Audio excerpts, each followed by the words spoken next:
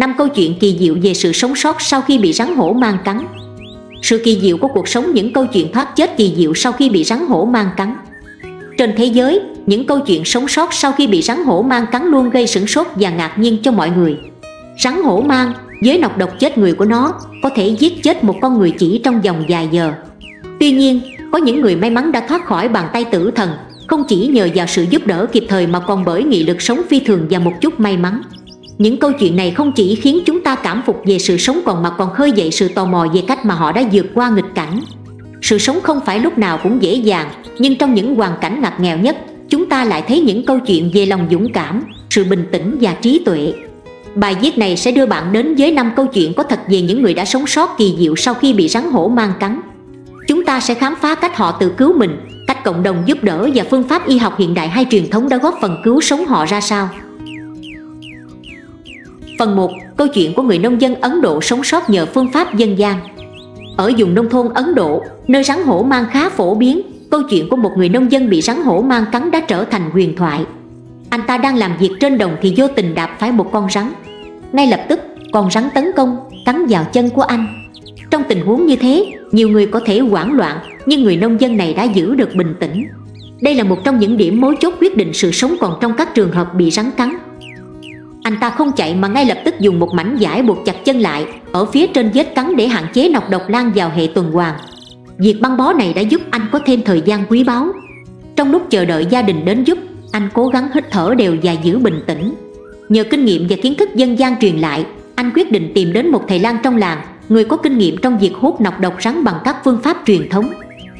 Thầy lang sử dụng một loại ống tre nhỏ để hút nọc độc, sau đó dùng các loại thảo dược địa phương để làm giảm đau và giải độc cũng may mắn là nọc độc của rắn hổ mang chưa lan rộng trong cơ thể do anh đã buộc chặt chân kịp thời. Sau vài ngày được điều trị bằng các bài thuốc dân gian Người nông dân này đã dần hồi phục.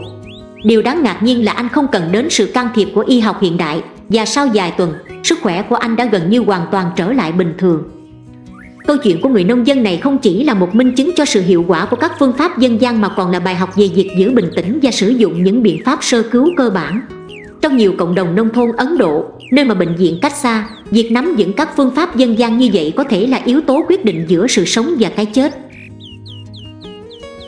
Phần 2. Câu chuyện của người lính Việt Nam may mắn được cứu kịp thời Một câu chuyện khác đến từ Việt Nam, nơi mà những khu rừng nhiệt đới là môi trường sống lý tưởng cho loài rắn hổ mang. Một người lính đang thực hiện nhiệm vụ tuần tra trong rừng thì bất ngờ bị một con rắn hổ mang cắn vào chân. Tình huống này đặc biệt nguy hiểm bởi khi ở giữa rừng sâu, việc tiếp cận sự trợ giúp y tế là vô cùng khó khăn. Ngay khi bị cắn, người lính này đã nhanh chóng nhớ lại các kỹ năng sơ cứu mà anh được học trong quân đội. Anh tự băng bó dùng bị cắn bằng một chiếc khăn, cố gắng giữ cho nọc độc không lan nhanh vào cơ thể. Sau đó, anh ngay lập tức liên hệ với đồng đội qua sóng radio để yêu cầu hỗ trợ. Trong lúc chờ đợi sự cứu viện, anh tiếp tục giữ bình tĩnh và cố gắng hạn chế di chuyển vì anh biết rằng việc di chuyển sẽ làm nọc độc lan nhanh hơn. Nhóm cứu hộ đã phải vượt qua nhiều điều kiện khó khăn, bao gồm đường bộ gập ghềnh và điều kiện rừng rậm để tiếp cận người lính. May mắn thay, nhờ vào sự hợp tác nhanh chóng giữa các đồng đội, họ đã chuyển anh đến bệnh viện kịp thời bằng trực thăng quân đội. Tại bệnh viện, các bác sĩ ngay lập tức tiêm huyết thanh kháng nọc độc, giúp giảm thiểu tác động của nọc độc rắn hổ mang. Sau nhiều tuần điều trị và chăm sóc hồi sức tại bệnh viện, người lính này đã hồi phục hoàn toàn và trở lại đơn vị để tiếp tục công tác.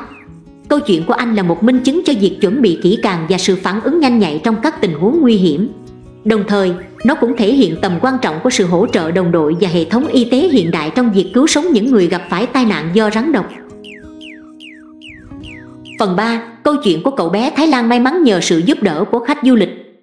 Ở Thái Lan, câu chuyện về cậu bé bị rắn hổ mang cắn đã làm rung động dư luận. Khi đang chơi gần nhà, cậu bé vô tình bước vào khu vực hang rắn mà không hề hay biết một con rắn hổ mang xuất hiện và cắn vào tay cậu. Cậu bé hoảng loạn kêu cứu và may mắn thay, một nhóm khách du lịch nước ngoài đang ở gần đó đã phát hiện ra sự việc. Nhóm du khách này có một người trong số đó là bác sĩ có kinh nghiệm sơ cứu. Họ ngay lập tức can thiệp bằng bó tay cậu bé và giữ cho cậu không di chuyển nhiều, đồng thời nhanh chóng gọi điện để yêu cầu xe cứu thương. Trong vòng vài phút, xe cứu thương đã có mặt và chở cậu bé đến bệnh viện gần nhất. Nhờ vào sự hỗ trợ của khách du lịch và xe cấp cứu hiện đại cậu bé đã được tiêm huyết thanh kháng nọc độc trong thời gian ngắn. Tại bệnh viện, các bác sĩ đã tiêm kháng huyết thanh đặc trị và theo dõi cậu bé trong vài ngày. Cậu bé đã thoát khỏi nguy hiểm và hồi phục nhanh chóng.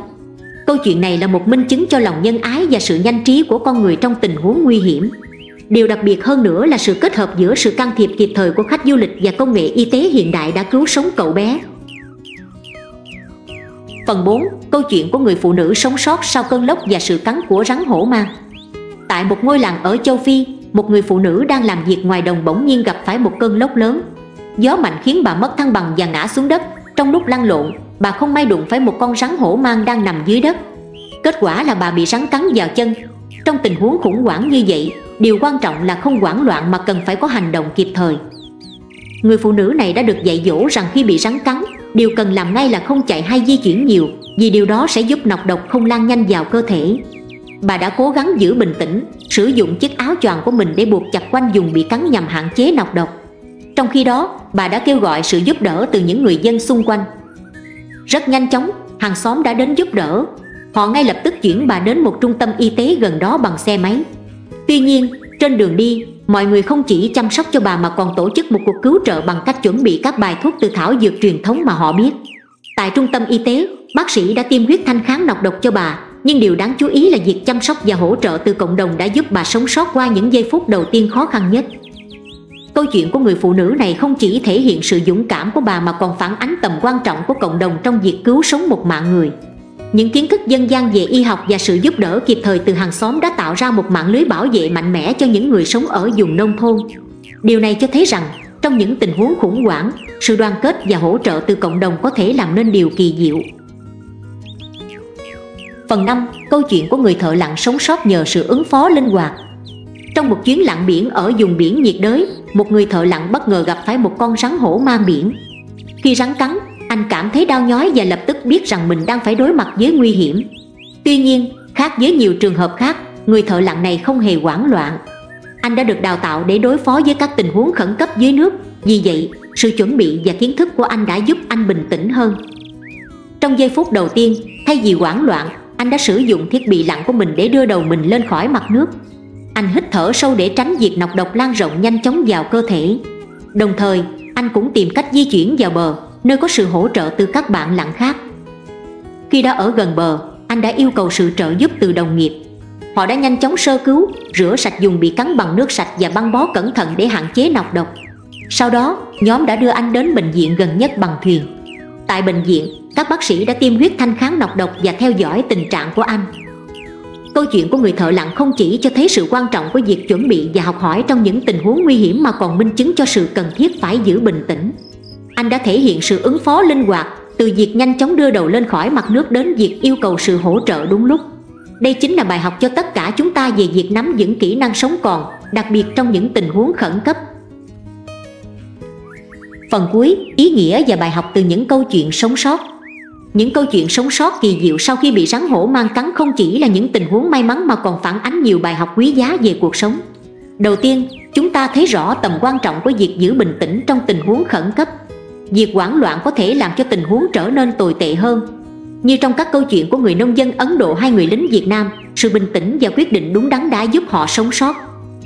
Thứ hai, sự chuẩn bị và kiến thức về y học, dù là hiện đại hay truyền thống có thể là yếu tố quyết định trong việc sống sót sau những cuộc tấn công của rắn. Những người như người phụ nữ ở châu Phi đã tận dụng kiến thức dân gian để tự bảo vệ mình, trong khi người thợ lặn đã sử dụng kỹ năng được học để đối phó với tình huống khẩn cấp. Điều này cho thấy rằng, việc học hỏi và rèn luyện kỹ năng có thể giúp chúng ta vượt qua những thử thách khó khăn. Cuối cùng, sự hỗ trợ từ cộng đồng là một yếu tố không thể thiếu. Trong các câu chuyện, sự nhanh chóng và kịp thời từ hàng xóm bạn bè và đồng đội đã góp phần lớn vào việc cứu sống những người bị rắn cắn. Điều này nhắc nhở chúng ta rằng trong những lúc khó khăn, tình người và sự đoàn kết là những yếu tố quý giá nhất. Tóm lại, những câu chuyện sống sót này là một lời nhắc nhở rằng cuộc sống luôn đầy rẫy những thử thách. Nhưng với sự bình tĩnh, kiến thức và sự hỗ trợ từ những người xung quanh, chúng ta có thể vượt qua bất kỳ khó khăn nào. Chúng ta hãy học hỏi từ những trải nghiệm này và chuẩn bị cho những tình huống khó khăn trong tương lai.